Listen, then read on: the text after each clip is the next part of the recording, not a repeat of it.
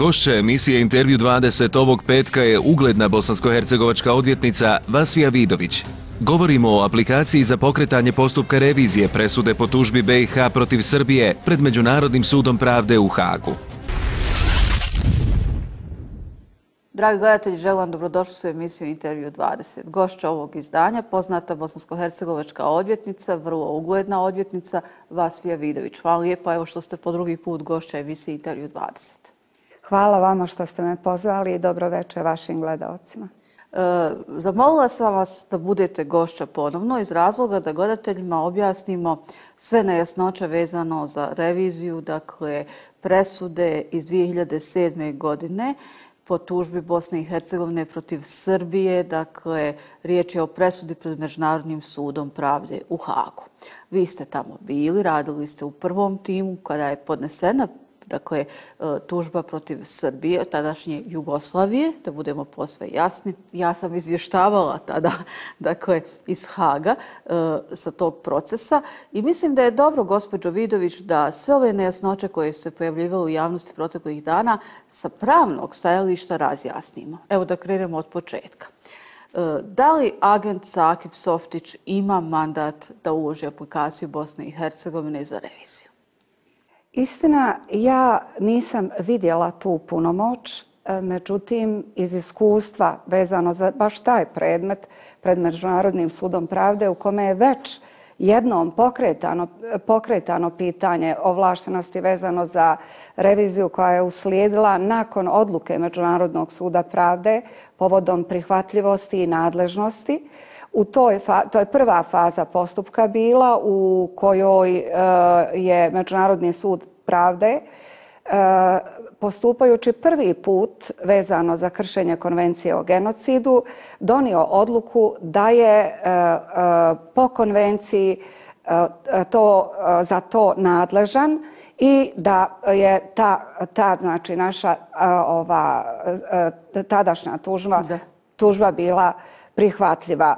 Eh, po, odmah nakon tada se već pojavilo pitanje uh, pitanje da li Bosna i Hercegovina može uložiti tu uh, tužbu. Uh, različita osporavanja su uh, procesne prirode odma tada ispoljena od strane Srbije.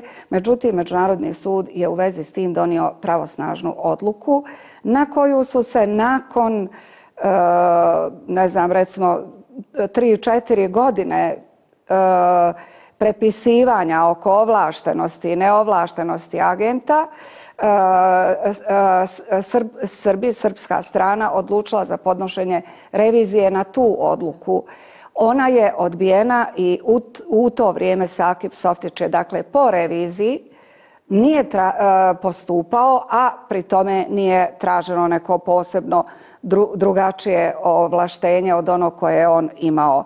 Znači, e, tada sud nije smatrao da e, njegovo ovlaštenje nije valjano. E, tada je donesena također odluka na predsjedništvu e, vezano za, tu, za njegovo ovlaštenje 2 prema 1 i tada je nakon toga srpska strana nizom različitih postupaka pokušala osporiti ovlaštenje. Na primjer, Eh, Živko, tadašnji član predsjedništva, gospodin Živko Radišić, je imenovao, vi se sjećate, pratili ste zajedno sa mnom to, imenovao je zamjenika agenta, eh, pokušao ovaj, da kroz imenovanje zamjenika agenta ospori e, poziciju. poziciju Bosne i e, po, ovaj, člana predsjedništva i drugog člana predsjedništva da podnesu tu, da, da, su, jeli, da, da imaju saglasnost za podnošenje.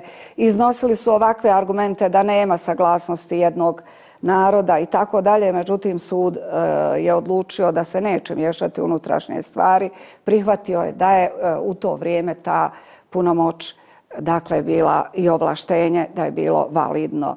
Sada dalje, ja naravno opet vam kažem, nisam, davno je to bilo i nisam gledala detalje, smatram da kako god bilo, sud će to riješiti. Znate, mi ako se desi da, e, što, e, da, da gospodin Softić podnese apelaciju, onda će naravno e, srpska strana, srbijanska strana, da ovako kažem, imati pravo odmah da prigovori na to ovlaštenje i to će se riješiti od strane Međunarodnog suda pravde, znači u jednoj sudskoj proceduri. Zbog toga ne vidim toli razloga za takvo politiziranje. Još nešto što bi ja željela da objasnim, molim vas, e, to je sudski postupak to, je, e, to nije novi sudski postupak, nego je to postupak e, po pravnom lijeku koji, na koji ima pravo bosanska strana. Znači, po pravilima. Nije to nikakav novi postupak. Ja slušam političare, oni kažu da je u pitanju ovaj, tužba vrlo često. Nije tužba, naravno, da, da, to je. nego se radi o, o postupku, o reviziji, o jedinom dozvoljenom pravnom lijeku u vezi s tim postupkom. Ali zadnju riječ u svakom slučaju reći Međunarodni sud pravde i ne vidim uzbuđi, zbog čega uzbuđivanja vezano za to. E, e sad, ja sam naravno pripremajući se za ovaj razgovor našla tu odluku dakle, sa sjednice predsjedništva Bosne i Hercegovine mm -hmm. koje je imenovan Sakip Softić da. dakle, za, za agenta. E, međutim, ono što me zanima, sad, sad vas kao novinar da. pitam, da li je postojala mogućnost, gospođo Vidović, iz vašeg bogatog pravnog iskustva odvjetničkog, dakle, radili ste gore, znate kako gore ti procesi idu i kakve su procedure, e, da bosansko-hercegovačka strana, evo konkretno da, da, dakle, agent Sakip Softić, prije samog podnošenja ovog zahtjeva za reviziju provjeri da li je vjerodostojna njegova pozicija. Da se sad u zadnji čas sve ne rješava. Teoretski e, jeste, međutim to se ne radi. U principu se punomoć predaje, ovlaštenje se predaje zajedno sa, sa podneskom za, e, za, za pravni lijek koji već tražite, znate. I onda, onda e, i kad dođe osporavanje druge strane, jer uvijek jedna strana ima argumente, naravno da sud ovaj ne bi, e, to ne bi uradio jer nema argumente druge strane, nema prigovor.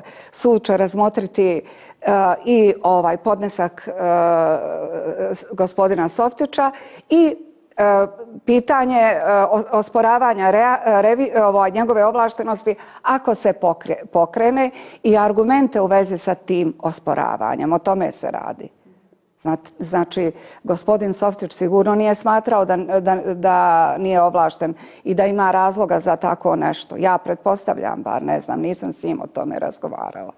Međutim, nemate vi razloga provjeravati svoju punomoć ako je niko nije osporio do tog trenutka, znate.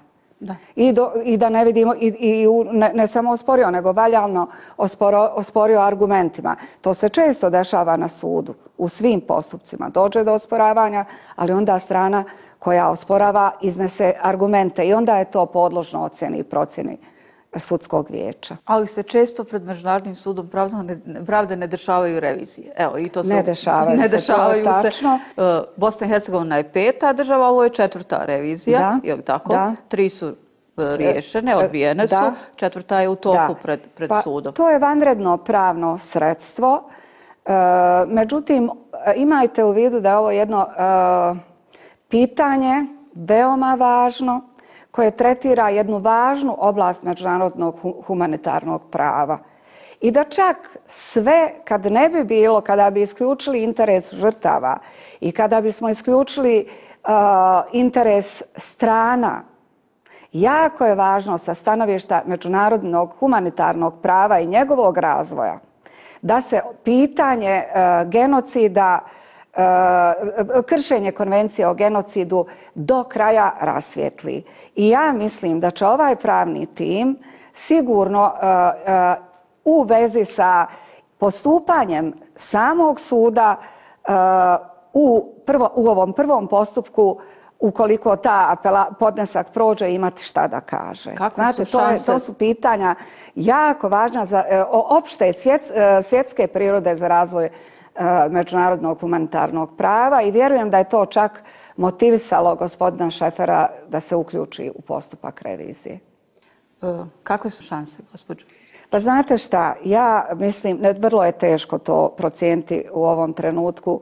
Naravno, ja sam čula koncepciju, nisam vidjela materijale, E, E, dokaze, naime, i i cijeli podnesak, jer on je i povjerljiv u ovom trenutku i da jesam vidjela, naravno, ne bi govorila. A zašto je povjerljiv? Zašto pa- se to toliko krije od javnosti? Nije se prije 15 dana ni znalo uopće da li će Bosna i Hercegovina ići sa tom revizijom. Mm. Gospodin, dakle, je član predsjedništva Bosne i Hercegovine, gospodin Bakir Izetbegović upitan od strane novinara da li će nije čak imao ni precizan odgovor. Čak je izjavljivao da će agent Softić o tome odlučiti.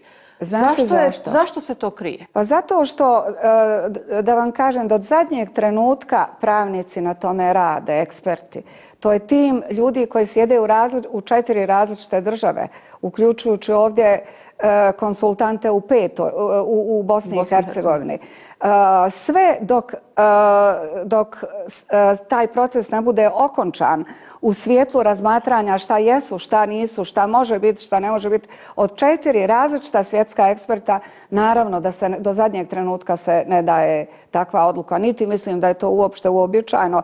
Ne samo u, na, u ovom slučaju kod revizije, nego mislim da se time, ne, e, mislim da iznošenje bilo kakve argumentacije u mnogim slučajevima niti stranke u postupku ne ne objelodanjuju. Mi... Ali nije samo stvar argumentacije, nego uopće se nije znalo da li će se ići u e, reviziju. Kažem vam, da li su tu i politički razlozi? Što e, mislite? Pa da vam kažem, u ovom slučaju možda jesu. Pa ne znam, možda čak i jesu politički razlozi. Donekle, vi vidite da je od onog trenutka kad je obznanjeno da će se ići s tom revizijom, došlo do ten, potpuno nepotrebnih pomeni tenzija. Ali zašto bi bilo kakav sudski postupak? Ovo je samo sudski postupak dizao tenzije. I vjerujem da je to opredijelo gospodina Izetbegovića da, da o tome ne govori. Zbog toga, jer bi taj postu, e, te tenzije trajalo samo 15 dana duže ili mjesec dana duže.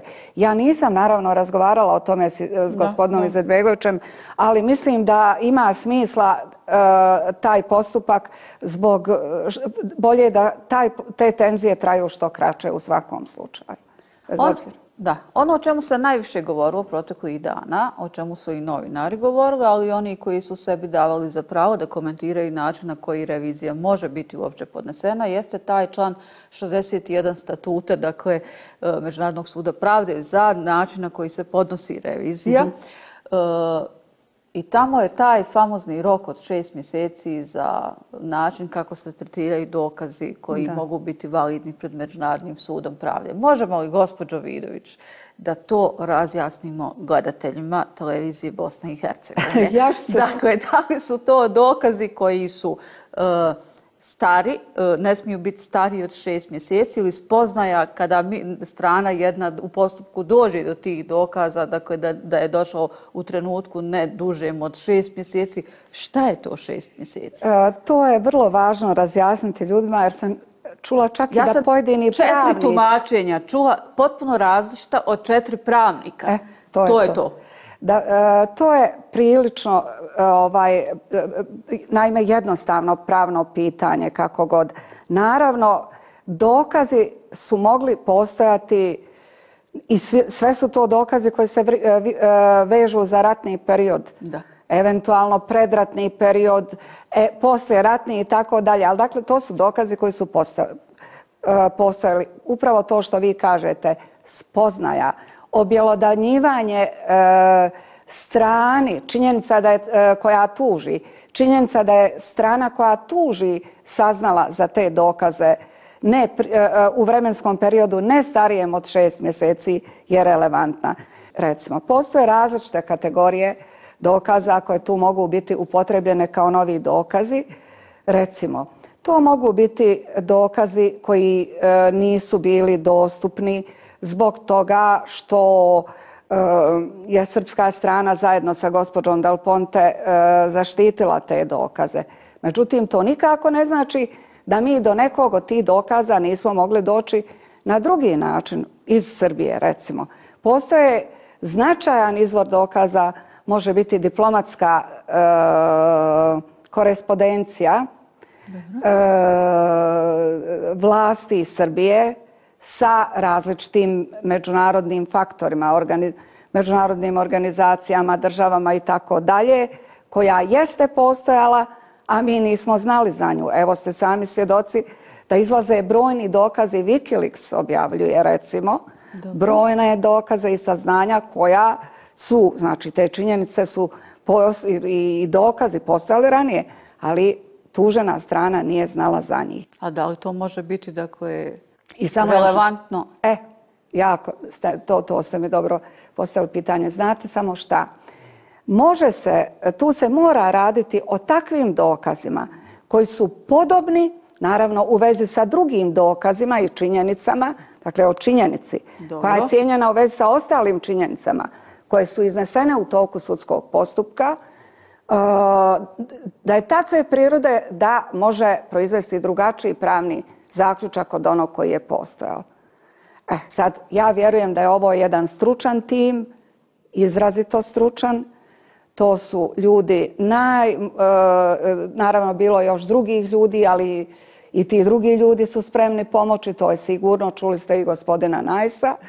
Ali ovi, o, ovaj tim je dobar tim, mislim to su najjači autoriteti na svijetu u oblasti ratnog zločina i teoretskoj i praktično. Imamo gospodina Pelea koji najviše uspjeha na Međunarodnom sudu pravde je imao u predmetima koje je on vodio i na sreću on je od početka uključen u, u, u, ovu, u, ovu, u ovaj proces i on zna sve detalje i sigurno je u stanju bio procijenti šta je novi dokaz.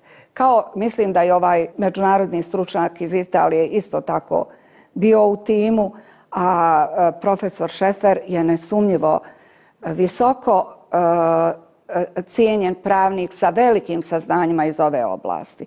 Teoretičar, prema tome, znate, nisu to, vjerujte mi, ljudi koji bi tako olako ovaj, ušli i stavili svoj potpis na neki bezvrijedan podnesak. Budite uvjereni u to.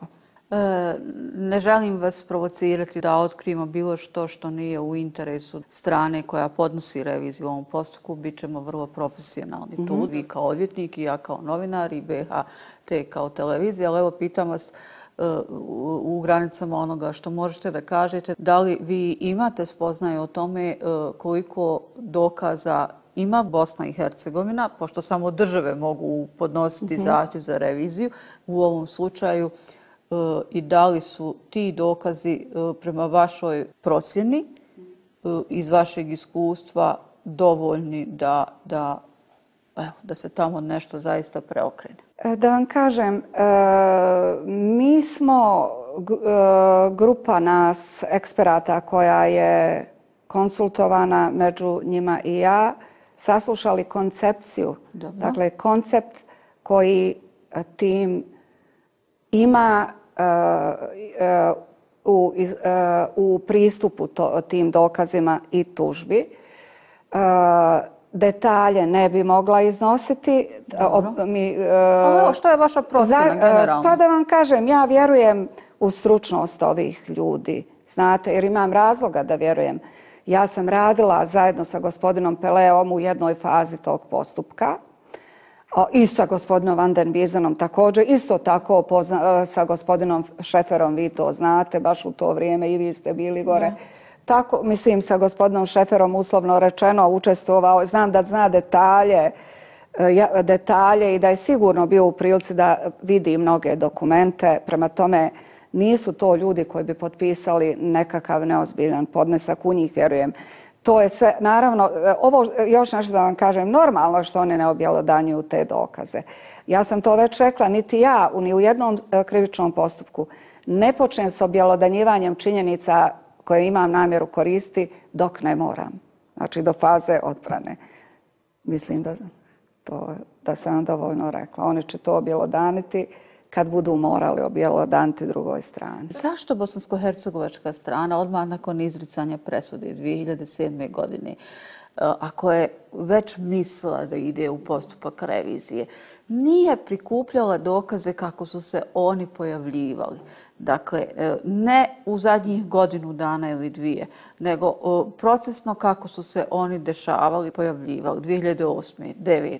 2010. Razumijete me? Mm, e, I odmah, jesmo li odmah mogli u tim trenucima podnositi zahtjeve za reviziju? Po onome što sam ja čula, e, taj dan kada smo bili na sastanku kod predsjednika Izetbegovića, e, a, e, a i sljedeći dan e, na onom skupu u Vječnici, rečeno je zapravo da je institut za, međunarod, institut za istra, Međunarodni institut za istraživanje ratnih zločina i druge nevladne organizacije da su pratili. Prema tome ja nemam, ovaj, ne znam zašto novinari misle, misle da to nije praćeno. Oni su pratili suđenja, pono, A znate ali ne tu malo ovdje. smeta? Tu smeta što se tako važan posao prepušta uh, uvjetno kazano udruženjima građana ili nevladinom sektoru. Ipak je to posao je li tako, za neke ozbiljnije okvire. Mislim, bez namjere da ikoga uvrijedim. Dakle, ako imamo agenta Softića, onda je to posao za agenta Softića, da, je li tako? Da, ne kažem ja. Ne, ja, ja. Agent Softić je rekao da su oni, ins, uh, institut, ali dobro, to je Međunarodni institut za istraživanje ratnih zločina, koji je dao značajan doprinos iz, uh, u radu uh, tribunala za bivšu Jugoslaviju. Dobro. Oni, ka, uh, oni su izvijestili da su pratili zajedno sa sa agentom Softićem. Pred 50 ljudi je tamo e, do, Vječnici. u Vječnici je bio izvještaj da su one pratili godinama i to ne samo suđenja pred Međunarodnim tribunalom, nego i suđenja u Srbiji i neka suđenja ovdje na državnom sudu. E samo mora, morate imati jednu ovdje stvar u vidu. Najvažnija suđenja e, na kojima su, izno, na kojima su izna, iznošeni različiti dokazi su suđenja Karadžiću i Mladiću. Jer oni su se branili, naročito Karadžić, dijelom da oni nisu baš nosioci tih aktivnosti. I oni su pominjali jako mnogo dokaza u svojoj odbrani e, ko, ko, koji gledano u jednoj cijelini mogu proizvesti drugačiji zaključak od onog koji je tada ovaj, e, koji, koji je tada donesen 2007. Značajno je veća količina, stotine hiljada dokaza su od tada upotrebljeni. Nužno ne znači da to ovaj e, institut i svi drugi ljudi koji se time bavili nema i nije radio. Ja sam stekla utisak iz njihovog izvještavanja da jeste. E sada, koja će to biti činjenica koju će oni iznijeti kao ključnu ili sklop činjenica kao ključni, ja u ovom trenutku ne znam. Međutim, bolje ja ono što znam sigurno da bi da je za žrtve e, jako važno da je država uradila, pa, pa taman i ovako na, e, u sva ova trvenja to uradila e, jer bi ostalo ne, e, ne, jer bi ostalo nedovršeno, ostalo bi da je država mogla uraditi još nešto ili e, uzmite član predsjedništva, još nešto što nije uradio. Znate, ostalo bi. Bolje je pokušati. Kada se pokuša, uvijek postoji šansa. To mi svi advokati radimo. Postoji šansa i ako ne pokušate, ta šansa ne postoji. Ako Međunarodni sud pravde kaže odbija se apelacija, nema dovoljno osnova, osnova u redu, pokušali smo. Uradili smo sve što smo mogli za žrtve. Da. I kroz prvu tužbu protiv Srbije pred Međunarodnim sudom pravde Bosna i Hercegovina je nastajala dokazati da je odgovornost Srbije u ratu u Bosni i Hercegovini, da je Srbija izvršila agresiju na Bosnu i Hercegovinu, da je sudjelovala u genocidu, dakle ne samo u Srebrenici, nego i drugim dijelovima Bosne i Hercegovine. Da li su to isti, iste polazne tačke i za ovu reviziju? Šta se mijenja u odnosu na, na te tačke koje su bile u prvoj tužbi Bosne i Hercegovine? Ovdje je samo stvar, e, naravno, moramo se kretati u okviru te tužbe, odnosno Dobro. bolje reći u okviru Tamo je, presude. U presudi je rečeno da, da je bio genocid u Srebrenici. Da. Dobro, ali da, da je, Srbija... Da je odgovorna samo za sprečavanje genocida. A sada, a znači, odbijeno je da je Srbija sa izvršilac ili saučesnik, sama, saučesnik da. Da u genocidu. genocidu e sada, u Srebrenici. Jeste, dakle, u Srebrenici. Raz, uh, mislim da će biti posmatrano da, da su da razmatraju da su razmatrali eksperti situaciju genocida od 92. do 95. mislim, bar sudeći po onome što je rečeno, a posebno učešća e, srpskih vlasti u genocidu. Dakle, u tom periodu ovaj, ne dakle samo nesprečavanju, nego u aktivnom učešću sa izvršilaštvu u genocidu. Dakle, da budemo vrlo precizni, gospođo Vidović, dakle, sada će fokus biti na tome da je dakle, Republika Srbija e, bila aktivni saučesnik dakle, u, izvršenju, u izvršenju zločina genocida dakle, na državnom teritoriju Bosne i Hercegovine. Ne samo dakle, vezano za Srebrenicu. Da li sam dobro shvatila? Ja, e, e, ja znam da eksperti su to razmatrali i razmatraju, ali nije moja uključenost tolika da ja mogu precizno odgovoriti na to pitanje. Da su to razmatrali i razmatraju, jesu. Dobro. Što mislite, kako dokazati uopće da, evo iz vašeg pravnog iskustva, recimo da državni vrh Srbije je imao recimo, efektivnu kontrolu nad snagama koje su provele genocid u Bosni i Hercegovini? To je jedan vrlo visoko postavljen međunarodni standard. Dakle, e, kod nas se vrlo često ovaj upotrebljava riječ agresija, onda ljudi misle da je dovoljno dokazati da su te snage na terenu bile, uzele aktivnog učešća u borbama ili e, imale logističku podršku. Standard je viši, visoči. E, mora se djelovanje tih organa dovesti u vezu sa zločinima samim. Drugim riječima, da su te aktivnosti povezane znači organa vlasti Srbije i vojnih i policijskih organa sa izvršenjem zločina na terenu. E to je jako e, visoko postavljen standard. Naravno, to nije ni čudo, jer ova je presuda, imajte u vidu, jako važna za razvoj međunarodnog humanitarnog prava. Kršenje konvencije o genocidu je jako bitno. E, svjetski problem i e, vi neće on pogoditi samo Srbiju. E, zato je taj standard jako visok. On e, moguće može pogoditi i druge države koje vrše takve ili su vršile takve radnje. Zna. To može da bude mač sa dvije oštice. E, to je to. To je to što može eventualno da utiče na, i na sam ishod postupka ako gledamo e, pozadinu takvih rješavanja takvih sporova, koja nije isključena. Znate, velike su sile u pitanju. I, da. Ali ja kažem da je dužnost prema žrtvama koje ničim nisu obeštečene. Pa konačno prema njima se i dan danas pokazuje nepoštovanje iz, iz, iz, iz tih iz dijelova i Republike Srpske i Srbije. Ovaj, poštovanje prema žrtvama traži da se to pitanje dovede do kraja, pa makakav ishod bio. Neću više da govorimo o tim e, što mogu biti dokazi ili ne mogu. Dakle, nećemo, e, mnogo toga je ispričano u javnosti proteklih dana, dakle, redigovani ili neredigovani zapisci i tako dalje, dokazivanje posljednja veze između Slobodana Miloševića, Radovana e, Karadžića, dakle, i Ratka Mladića tokom genocida u Srebrenici i tako dalje. Međutim, hoću da vas pitam da odgovorimo vrlo precizno gledateljstvu Bosne i Hercegovini, gospođo Vidović. Šta se dešava onog trenutka kad Bosna i Hercegovina podnese zahtjev za reviziju presude pred Međunarodnim sudom pravdi? Onog trenutka kad se to desi, sud će dostaviti drugoj strani. I onda će druga strana imati pravo podnošenja takozvanih preliminarnih prigovora. Koliko traje to? Pa Boga mi da vam kažem nešto, e, sud je taj koji odredi rok zavisno od složenosti pitanja koja se koje se razmatra, ali imajući u vidu ono što se dešavalo u ranijem toku postupka, znači mi smo imali, prva tužba je podnesena 90, zapravo zahtjev za privremenim mjerama, 93. i trajalo je to, a vidite, vidite ušlo se u suđenje 2007.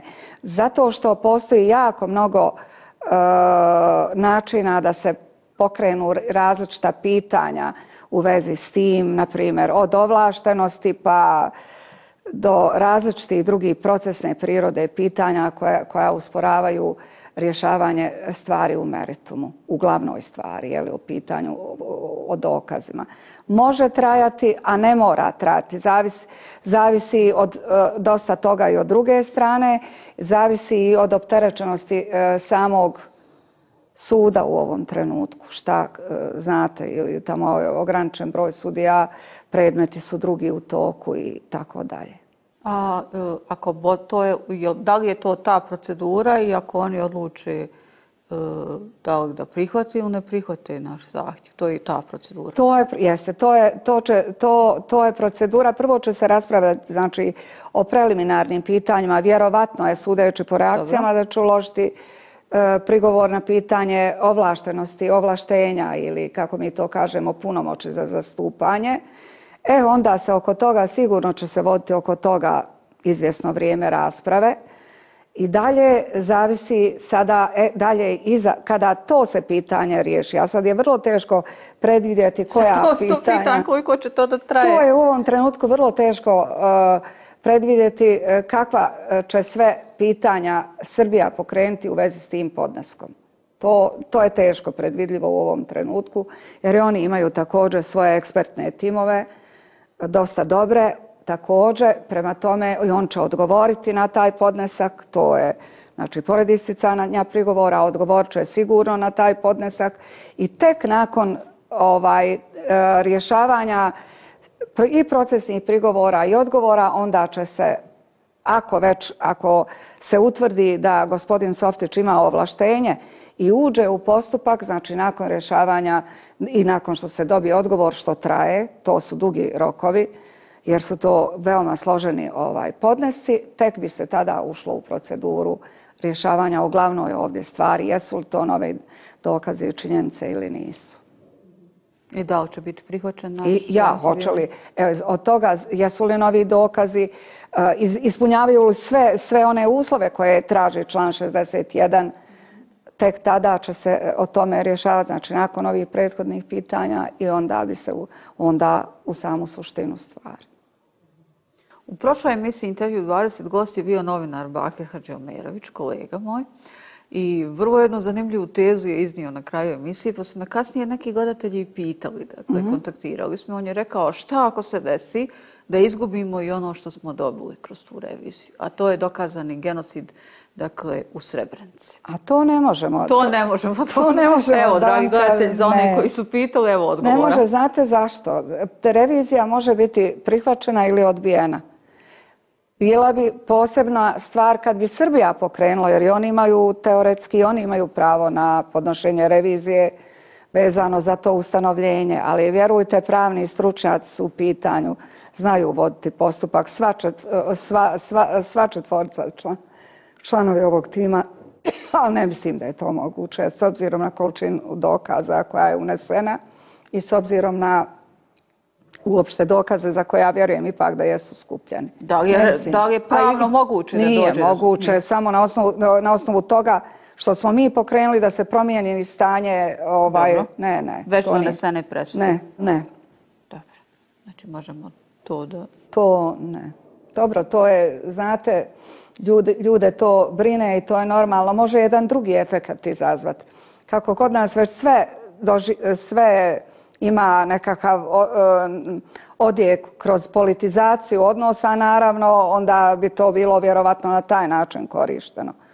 Znate, u političke nekakve svrhe to može biti posljedica. Da se kaže, evo, probali ste, niste dobili. I znate, to se različite se onda oko toga tenzije pokreću, dižu, to je ono što može biti. Što je vaša najveća zabrinutost kada govorimo o ovome, gospođo Vidović? Ovo što sam vam rekla. Najveća mi je zabrinutost da je to ipak jako važno pitanje koje e, će imati odrazane, koje nije samo pitanje ovog slučaja, nego svjetske politike i učešća svjetskih sila u ratovima, znate. Trudit će se sigurno, ne budite e, e, mnoge države, pogotovo ove velike države koje učestvuju u ratovima, da kriteriji ili standard prihvatljivosti i efektivne kontrole ostaje, ostane jako visok kao što je bio i do sada. Znate, da trudit će se da se ne spušta ovaj, e, taj standard efektivne kontrole i pokazatelji efektivne kontrole da se ne spušte u odnosu na onaj koji je utvrđen u slučaju Nikaragva. A to je da je država imala e, e, efektivnu kontrolu nad e, jedinicama koje su izvršile zločine na terenu. Evo na kraju smo, dakle, jedno pitanje ću vam postaviti koje nema veze sa revizijom. Postavila sam vam ga i kada ste bili gošća prije dvije godine, čini mi mhm. se, u ovoj emisiji. Kako danas gledate na stanje u BiH pravosuđu? Da li se nešto promijenilo u odnosu evo, na protekle dvije godine, prije dvije godine kada smo razgovarali? Pa da vam kažem, ono je jako, jako teško. Ono što ja kažem uvijek, pravosuđe je samo odraz stanja, stanja u pravosuđu je odraz stanja u društvu. A, a, o mnoge mane i nedostaci možda dolaze više to izražaja jer tamo imate stalno sukobljene interese strana pa se ta pitanja lakše i otvaraju i pokreću. E, ne znam, mislim da će, vjerujem da će korijente reforme morati biti poduzete.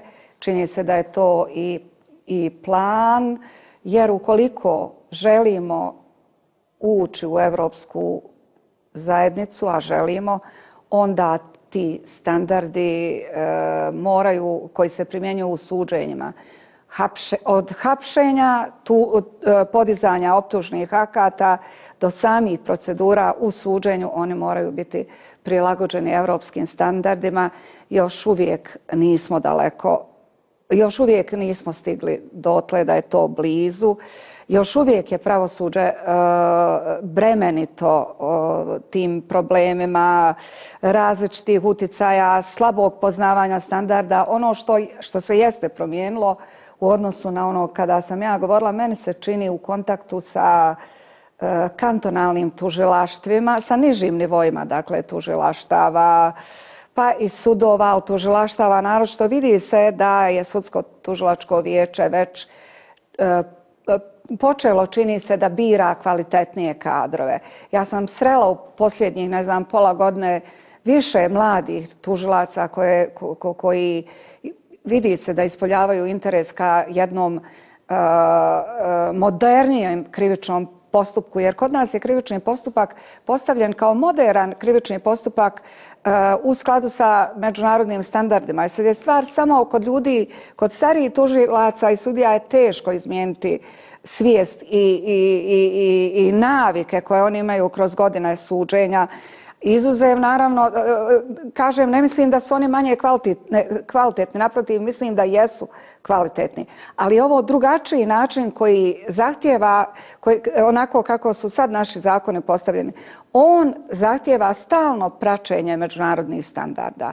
E to je ono gdje, će, e, gdje treba dosta obuke tim mladim sudijama i tužiocima i tek će se neke reforme i, i, e, i, naime, i, i uopšte ovaj, e, rezultati reformi vidjeti u nekoj budućnosti. Ono što hitno su, e, treba urati sudsko-tužilačko vijeće jeste da se pristupi reorgani, određenim organizacijama u, u tužilaštima, recimo u državnom tužilaštvu, da se preusmjere tamo ljudi koji rade, rade na manje značajnim predmetima na značajnije.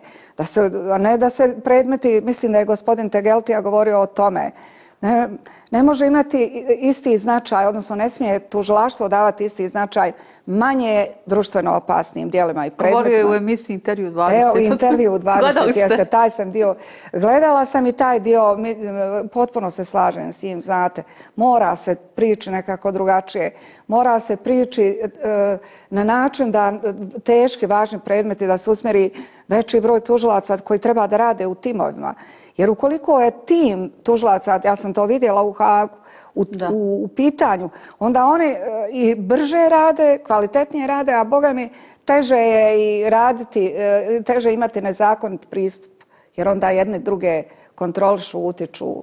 Ja vjerujem da će me ljudi iz struke razumjeti o čemu govorim. E, vi ovo ostajete u ovim odvjetničkim vodama, nemate namjeru preću neke druge ovo, ne, sudstvo, ne, ja, ne, ne, ne, nemam. Hvala, znate, dugo, ja sam ipak dugo bila Pa dobro, pitam zato. Nemam namjeru, uopšte nemam namjeru. E, ne, ne, ne, bar ne u Bosni i Hercegovini, to sigurno. Dobro, dobro. Evo, i to je odgovor. I to je odgovor. Ja vam zahvaljujem što ste bili u gošćoj emisiji Intervju 20. Imate veze vi sa Višegradom neke? Nikakve. Nikakve. Izuzev što sam radila predmete ratnog zločina. Dobro. Odjavit ćemo ovu emisiju divnim kadrovima. E, Čuprije, Mostad, Mehmet Paša i Sokolović u Višegradu, zahvaljujući kolegi Dadi Ruviću, koji je snimio dronom ovaj most i dobio prvu nagradu na web portalu balkanvibe.com. On nam je ustupio ove snimke, e, a ja sam se u to zaljubila na prvi pogled. Vjerujem da ćete i vi, dragi gledatelji. Pogledajte kako to divno izgleda. Dado Ruvić je to snimio tokom januara mjeseca. Ja vam zahvaljujem što ste ovu noć bili uz intervju 20. Ostanite i dalje uz BHT1 i gledajte nas ponovno za 7 dana. Hvala vam za pažnju.